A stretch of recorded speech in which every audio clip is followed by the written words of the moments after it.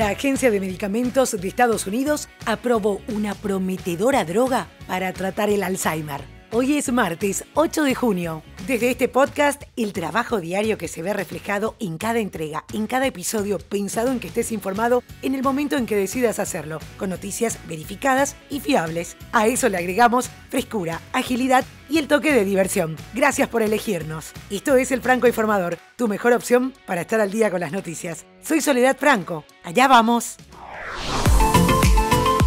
Hoy martes 8 de junio se celebra el Día Mundial de los Océanos. Los océanos representan el gran pulmón del mundo ya que de ellos obtenemos el oxígeno y en su ciclo natural se da un proceso de filtración y purificación del aire. Cada año son miles las especies de plantas y animales que se extinguen debido a la gran cantidad de desperdicios y agentes contaminantes que son depositados en las aguas del mar y aunque algunos gobiernos tomaron medidas para subsanar el problema, las mismas no fueron suficientes para evitar la extinción de grandes ecosistemas que mueren por estas causas. Hacé tu parte y ayudemos a cuidar nuestros océanos. El tema del día, ¿cómo es la prometedora droga que abre una nueva esperanza para tratar el Alzheimer? La Agencia de Medicamentos de Estados Unidos aprobó una medicación para tratar esta enfermedad en su estado inicial. Después de varias idas y vueltas, la agencia regulatoria, conocida como FDA por sus siglas en inglés, anunció que autorizó por vía rápida el uso de esta nueva droga, pero pidió al laboratorio Biogen, que lidera el desarrollo, que investigue más para tener mayores datos sobre su eficacia. El fármaco se llama Aducanumab. Su nombre comercial es Aduhelm Organizaciones de pacientes y familiares habían reclamado por la investigación y la aprobación de tratamientos más eficaces como aducanumab, pero hay expertos en demencias que han expresado objeciones. Esos expertos no están de acuerdo en la manera en la que se llevaron adelante los ensayos clínicos y señalan que todavía existen incertidumbres sobre su verdadera eficacia para contrarrestar la enfermedad. La aprobación de la droga viene con una salvedad. FDA exige al laboratorio que lleve a cabo un estudio adicional controlado con placebo del fármaco para verificar su eficacia y mejorar la memoria y los síntomas cognitivos de las personas. De todos modos, una noticia muy esperanzadora. España permite desde ayer lunes la entrada de viajeros que acrediten haber recibido la vacuna completa contra el COVID-19 y autoriza el atraque de los buques de cruceros internacionales a punto de comenzar la temporada turística veraniega, que es la más importante del año. La vacunación se debe haber completado al menos 14 días antes de llegar con las marcas Pfizer, Moderna, AstraZeneca o Johnson Johnson, autorizadas por la Agencia Europea del Medicamento, o las chinas Sinopharm y Sinovac Coronavac, autorizadas por la Organización Mundial de la Salud. Diferente la situación en Reino Unido porque desde el gobierno, el secretario de Salud británico Matt Hancock se muestra absolutamente abierto a retrasar el desbloqueo del 21 de junio y es un claro indicio de que la fecha para el siguiente paso en la hoja de ruta podría retrasarse. Esta semana será crítica para saber si la reapertura puede seguir adelante, ya que el país se puso a una semana hasta que se tome una decisión. La decisión depende de los datos sobre el impacto de la variante India o Delta este último nombre es preferente ahora. Hay que recordar que en este podcast justamente te contaba sobre el uso de letras del alfabeto griego para nombrar a las nuevas variantes del COVID-19. Así que la variante Delta es la que está causando estragos en las hospitalizaciones y son en gran parte planas las curvas, pero han aumentado marginalmente en algunas áreas.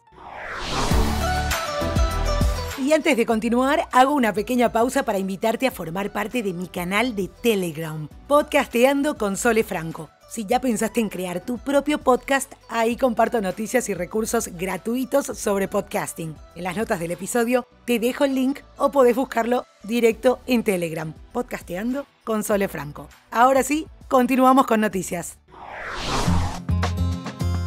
Y nos vamos hasta Brasil. El presidente Jair Bolsonaro afirmó que el número de fallecimientos por coronavirus en su país puede ser un 50% menor a lo que reportan los gobiernos regionales y aseguró que aún no se aplicó la vacuna contra la dolencia. Esta no es la primera vez que el presidente pone en duda la cifra de muertes, mientras algunos investigadores como Pedro Alal y Víctor Mori estiman que en Brasil hay subnotificación de fallecimientos y de contaminados.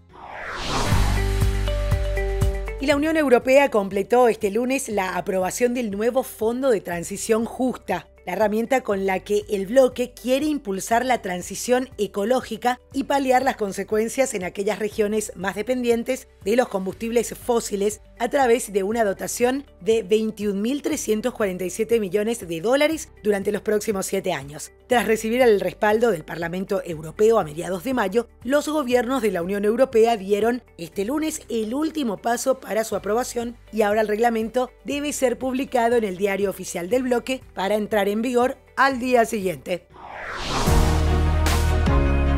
David Dushman, el último soldado que quedaba con vida de las fuerzas que liberaron el campo de exterminio nazi de Auschwitz en 1945, falleció en Múnich a los 98 años de edad. El fallecimiento de Dushman, originario de la Unión Soviética y entrenador de esgrima de gran éxito luego de la Segunda Guerra Mundial, ha sido confirmado este domingo por un portavoz de la comunidad israelita de Múnich.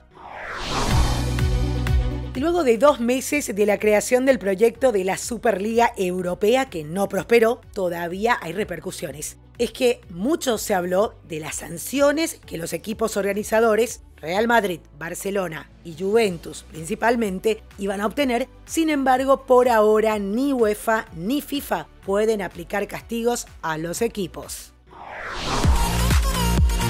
Más del fútbol, este martes se disputa de forma íntegra la fecha 8 de las eliminatorias sudamericanas rumbo al Mundial de Qatar 2022. La jornada tendrá como ingrediente especial la decisión que tomarían los capitanes de cada selección respecto a su postura por la realización de la Copa América, certamen que se disputará en Brasil, pero cuya realización sigue rodeada de polémicas la programación de esta fecha en orden cronológico y en horarios locales. A las 16, Ecuador-Perú. 18, Colombia-Argentina. 18.30, Venezuela versus Uruguay. 20.30, Paraguay versus Brasil. Y 21.30, Chile versus Bolivia.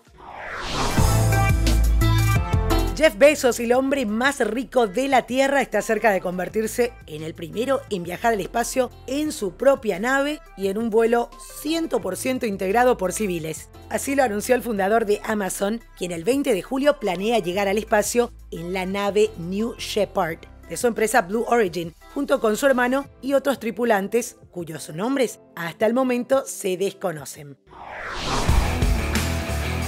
Como era de esperar, Floyd Mayweather dominó a la estrella de YouTube Logan Paul el domingo en la pelea de exhibición de ocho asaltos en Miami. Hay que recordar que para el combate Mayweather ya tenía asegurada una bolsa de 10 millones de dólares, pero además su contrato también contemplaba que se quedaría con el 50% de lo generado por el sistema pay-per-view, muy común sobre todo en Estados Unidos y en otros países. Las estimaciones indicaban que más de 2 millones de estadounidenses iban a pagar los 49,99 para ver el evento. Otro millón haría lo mismo en diferentes partes del mundo. A eso hay que sumarle los sponsors y es por eso que se calcula que la ganancia de The Money rondaría los 100 millones de dólares.